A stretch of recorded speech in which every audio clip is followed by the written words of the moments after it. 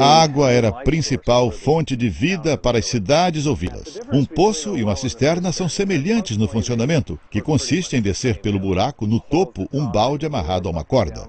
A diferença entre eles está na origem da água coletada.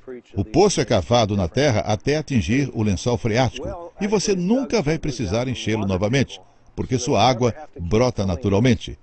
Já a cisterna acumula a água que desce pelas canaletas do telhado e das encostas dos montes e vai encher a cisterna que é cavada numa rocha.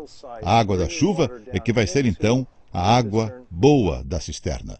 Normalmente, as mulheres chegavam cedo de manhãzinha e juntas tiravam água enquanto conversavam. Era como se fosse um encontro social. Ao mesmo tempo, em grupo, elas se protegiam contra pessoas mal intencionadas.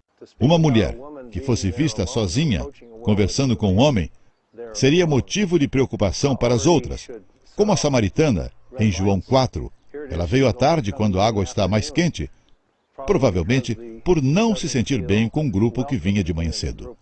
O fato do poço conter água parada logo que é retirada não é aceito pela sociedade judaica, que considera aquela água morta, uma água parada.